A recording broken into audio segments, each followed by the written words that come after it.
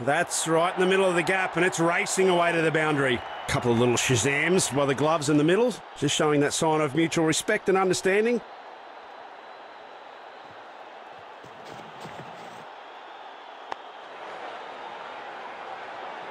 The batsman opting to play it safe on that one. No runs.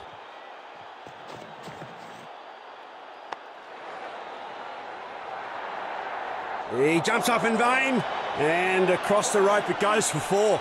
Fine century. The batsman's runs are flowing everywhere, all around the ground.